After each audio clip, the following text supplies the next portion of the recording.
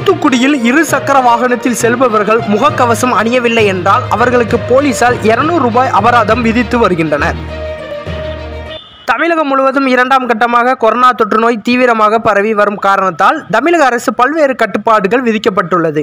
மேலும் பொது இடங்களில் கொள் செல்பவர்கள் முகக்கவசம் அணிய வேண்டும். சமூக இடைவெளி கடைபிடிக்க வேண்டும் என தமிழக அரசு உத்தரவிடப்பட்டுள்ளது.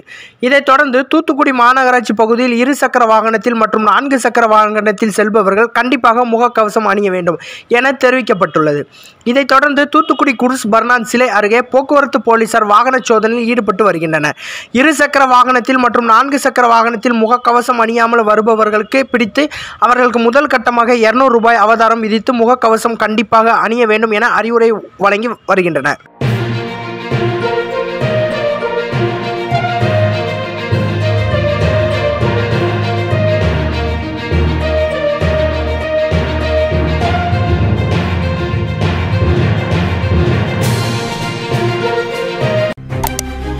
செய்திகளை உடனுக்குடன் தெரிந்து கொள்ள உங்கள் கரம் டிவியை சப்ஸ்கிரைப் செய்யுங்கள்.